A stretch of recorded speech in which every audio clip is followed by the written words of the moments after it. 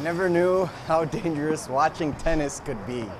Good evening, everyone. I'm Sam Ali. Action in the Mid Peninsula Conference was taking place all over Marquette County. Let's begin in Negaunee for the quest to find the best high school tennis players. For the number one doubles, it was Negaunee's Alex Roth and Carl Bittner taking on Iron Mountain's Danny Willman and Jordan Wadge. Mountaineers won the first set, but the Miners would take the next two, winning 4-6, 6-2, and 6-0, and it was a first place finish for them. To the number one singles, and it was Negaunee's Parker Bowman against Gwinn's Mika Heath, the cream of the crop here, and they go back and forth, and Heath puts too much on this one, and Bowman would win this battle, but Heath would win the war. Check out what happens though on this return right here. It's gonna bounce off the fence and boom, hit me right in the back of the head.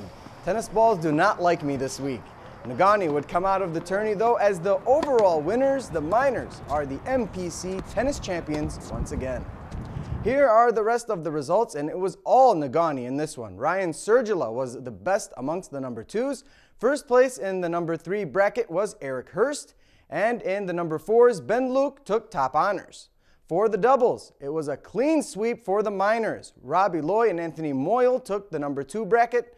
Luke Skews and Jacob Paupour win one tops in the number threes. And in the number fours, it was Mika Johnson and Dylan Tassin.